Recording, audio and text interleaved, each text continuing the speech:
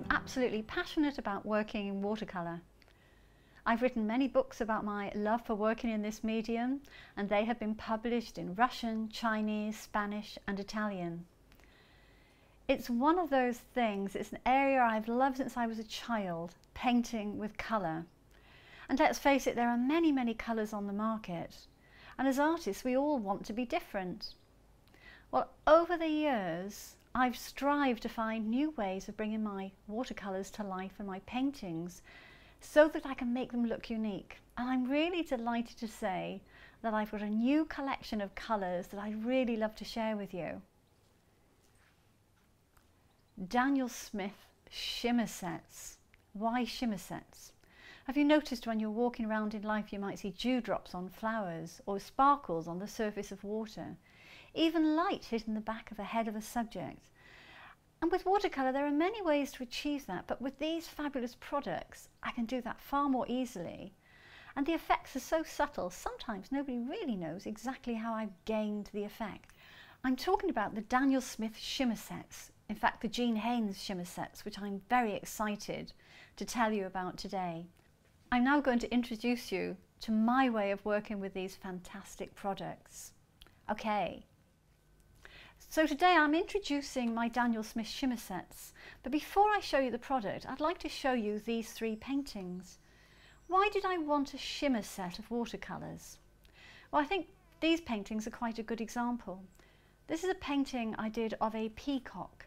I really love it as it is. I know under glass, if it was framed, you would get a really nice effect, but not as good as if I added just a tiny touch of an iridescent colour, somebody somewhere subtly. So I'll, I'll do that in a minute.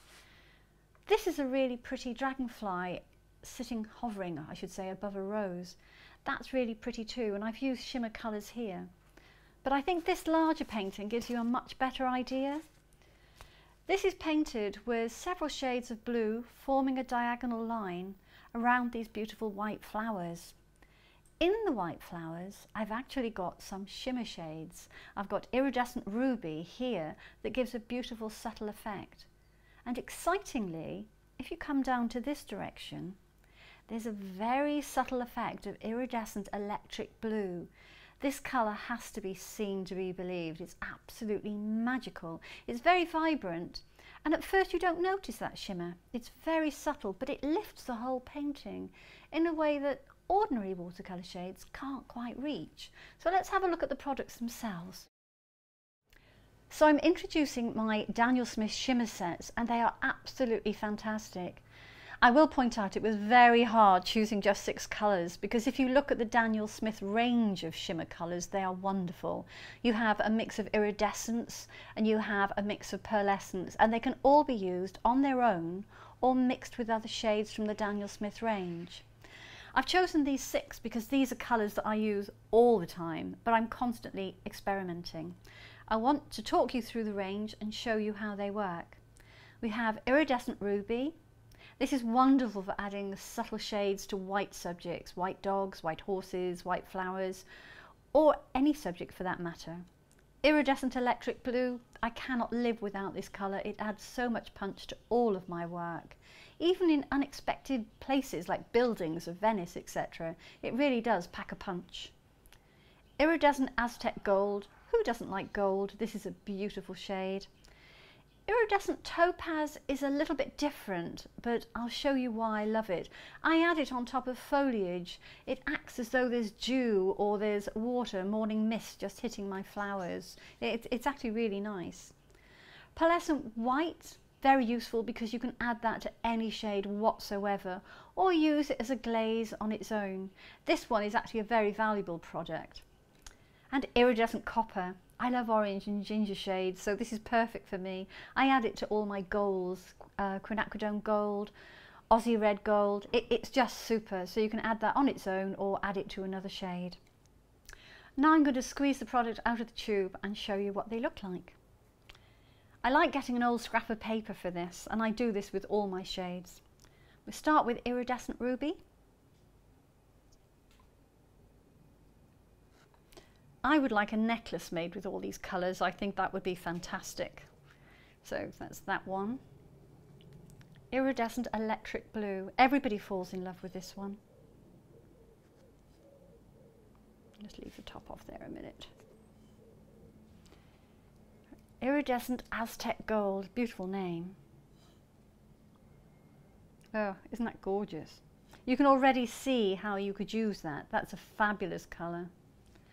And you might think you'd be painting a normal subject like a horse, for example. You could add this on top of the horse for the sheen. Iridescent Topaz. I love the name of this one. Whoops. I have to explain we're actually filming on one of the hottest days ever, unusually. In the UK, usually we have rain and cool weather.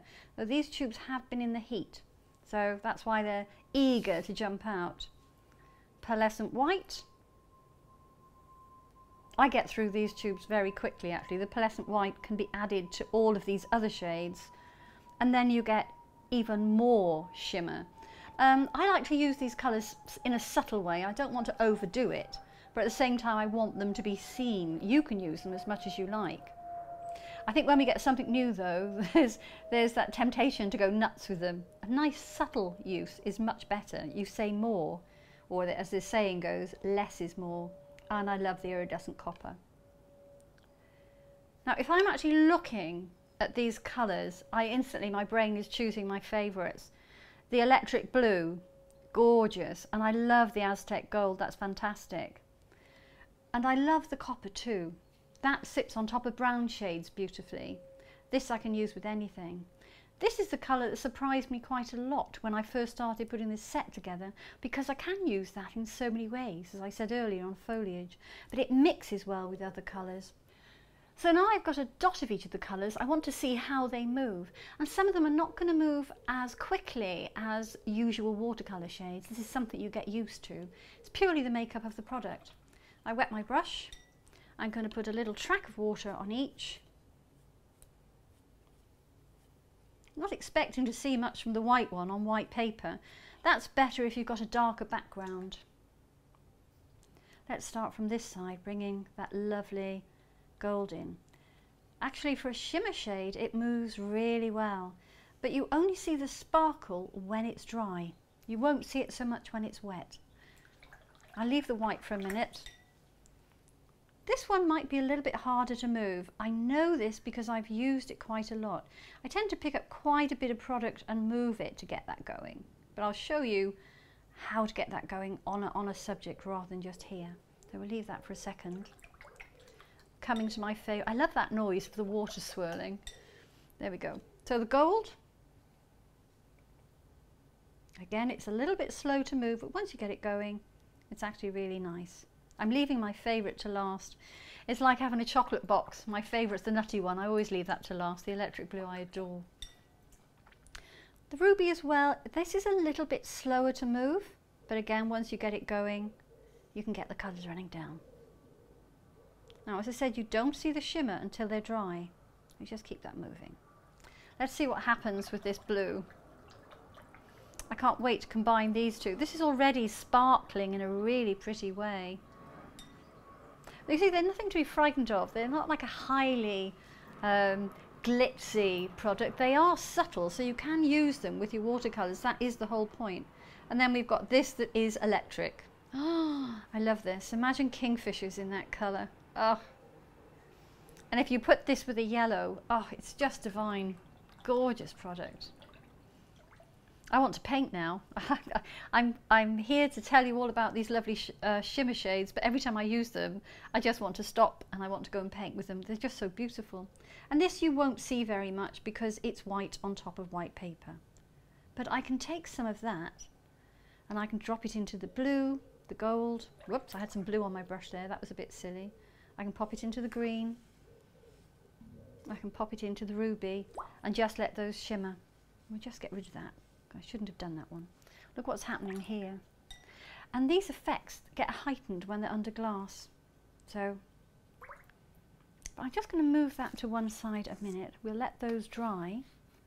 Here is another way of using these shimmer sets. You can take each individual colour and you can mix them with other shades on the Daniel Smith range. For this experiment I've taken iridescent topaz. Okay, I, I've fallen in love with this colour. You can see it's a really subtle green and it's got hints of gold in it. Now I love Daniel Smith Undersea Green and I love Daniel Smith Cascade Green, but so do many other people, so they might be using them too. And I've discovered a sneaky little way to make these colours look a little bit different. So all I do, I've got colour on the paper. This is the undersea green. There we go. Let's take a little bit like this. And I take a little bit of the topaz and I drop it in. And I just let that colour mix into the green. I don't try to touch it, I just let it swirl in on its own. And as it dries, it gives me a completely different effect. If you let watercolour work on its own, it's magical. But we often as artists try to push it around too much. Actually, that will dry far better without me playing with it all the time. There's a little bit of Cascade green here. Cascade green is a beautiful green, but it actually does come out quite turquoisey when it dries and the pigments can separate. You can get a really strong blue, which is beautiful. I'll take the turquoise, sorry, the topaz again and drop that in there and just let it do its own thing. In a big wash, this is quite exciting. But you might think that the uh, topaz is a greeny shade anyway. What about trying it with something a little bit more unusual? So I took Aussie Red Gold, again from the Daniel Smith range, which oh, I love this colour. Look how vibrant that is. It's just, this is a feel-good colour. If you're not feeling very happy or not very well, Get a tube of Aussie Red Gold. You'll feel brilliant in seconds when you use it. I'll take a little bit of my topaz and just literally drop it in. And it's like an electric light bulb. It goes in and it just lifts that colour. It's fantastic. So you see, when you're using them on their own, you might look at them here and think, well, how would I use those colours? The excitement comes from experimenting because you become unique as an artist. You find ways of using them that nobody else can or has discovered. So this is me playing with these colours and I'm getting really excited about my effects. When I come to do my serious artwork, I will now be painting, creating unique work. Everyone's going to be looking at my finishing results and thinking, how on earth did she do that? So if you don't tell anyone and keep it a secret, the secret is my Daniel Smith shimmer sets. They're absolutely fantastic.